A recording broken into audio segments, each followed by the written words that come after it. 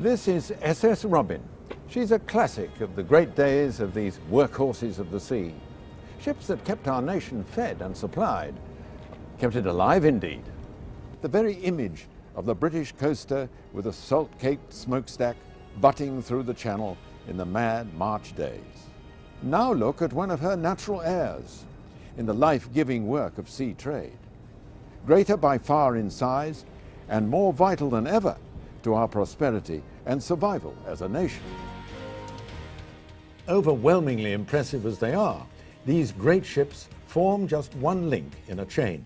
A great chain of trade, of business stretching around the world from British ports, delivering 95% of the goods we use. The food we eat, the petrol that drives our cars, the gas that lights and heats our homes and powers industry. And every link of that chain, forged by our maritime industry, must hold and bear an even strain, each as strong as the other, or the worldwide links on which our life as a nation depends will fail, and we with it. The chain starts here, with the preparation of shipping orders by a veritable regiment of professionals, shipping agents, freight forwarders, and cargo brokers, who make sure the goods that are wanted go where they're meant to go without fail. Brokers are a critical ingredient. We're the lubricant for the maritime industry.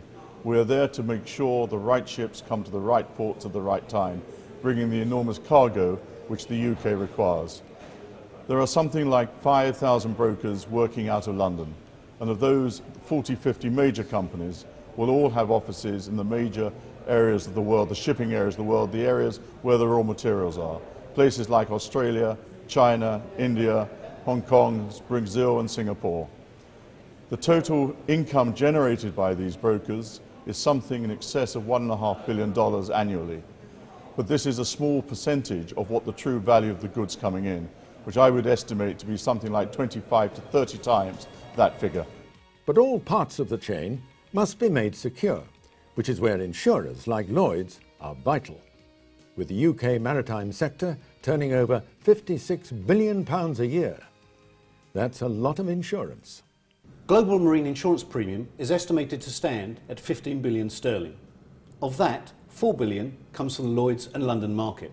That's across all class of business, hull, cargo, port liabilities.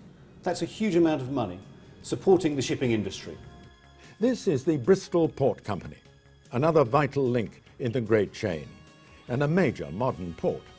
In just 20 years, it has all but tripled the amount of cargo it handles. Close to half a billion pounds of investment has transformed the 2,600 acre site. A kaleidoscope of cargoes comes ashore here, and not always the most obvious ones. Animal feed in vast quantities cascades through the company's storage facilities. Nigh on half a million tons every year of agricultural products are handled, on their way to the fields and farms of Britain. Bristol is one of the UK's major ports, and as a consequence, we are able to handle very large, large ships. We have naturally deep water. We have a lot of land here around the port. We have very good infrastructure in terms of the road and rail network.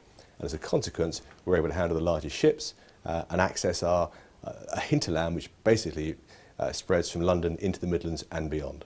For the future, we are looking to draw on the, the benefits of Bristol Port in terms of its natural deep water, its infrastructure links, both in motorway and rail, to develop a world-scale deep-sea container terminal capable of handling 14,000 TEU ships, which are in operation now, and, and the future larger vessels, which will be already on the drawing board. When I say to people I work in the ports industry, I sometimes get a few puzzled looks and they'll mention of names of a few ports uh, that maybe they've used at one time or another.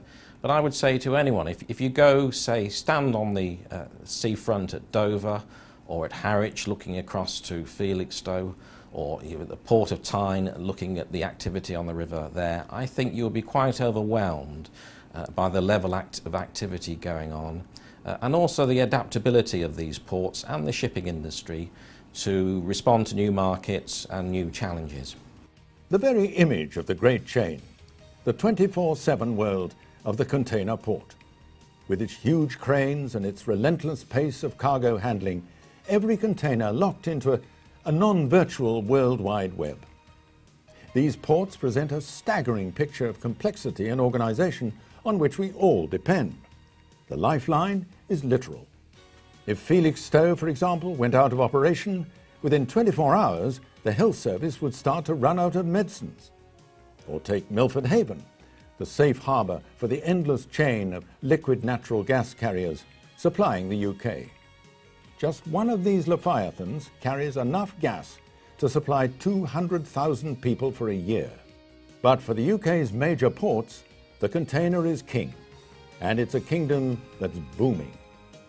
8 million containers currently handled in the UK each year. We expect that to go up to 16 million over the next 20, 25 years, so doubling, and being carried in bigger ships. That means that ports are going to be able to handle bigger ships and be able to move more containers through. We expect to see better linkage between IT and GPS and containers so that handling can be even more efficient than it is at the moment. Very exciting prospects. Ports will be playing their part so that this can happen. Dealing with the two things of a very welcome boom in shipping, but also keeping it safe, is quite a challenge. But we do that through what are these days called risk assessments. You look at what the risk of a ship hitting another ship or going aground is, and then you mitigate it. And you do it for a mix of methods. Uh, one is getting pilots on board most ships because they can bring them in safely. Another is making sure that we map the seabed to real accuracy within about 10 centimetres because quite often we only have less than a metre under the keel of ships coming in. And we use modern technology like vessel traffic services systems, radar, uh, something called AIS, which is a transponder system, so that we know exactly where ships are and can keep them apart. Though British shipping has declined in size since its 20th century heyday, British flagged ships are still central links in our chain of world oceanic trade. And UK shipping contributes over a million pounds to the economy every hour of every day of every year, as vital now as it ever was. This country depends on the movement of physical trade, and that physical trade is moved by ships.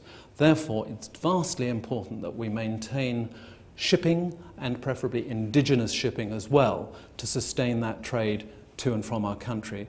If you think about it, uh, our energy needs for the future are going to rely to the tune of some 35% on imported liquefied natural gas, and that, frankly, can only come in by sea. So uh, we're reliant for our energy, for our household needs, on shipping across the piece. That means keeping trade routes open, both around our coasts and across the world. But if our chain is to be firmly anchored, we must build the UK's maritime future. With nearly half a million directly employed by the UK maritime industry, and the same again indirectly, training in every skill is indispensable, from ship's officer to pilot, from marine surveyor to maritime lawyer, from engineer to catering supplier.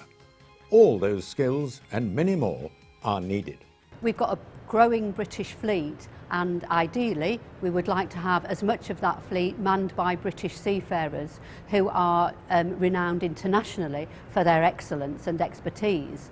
Not only that, um, British seafarers are in great demand um, in shore-based positions, um, both within ship management, within the shipping industry and the wider maritime sector. With all this in place, the great chain that keeps our country alive and prosperous will stay firm and true.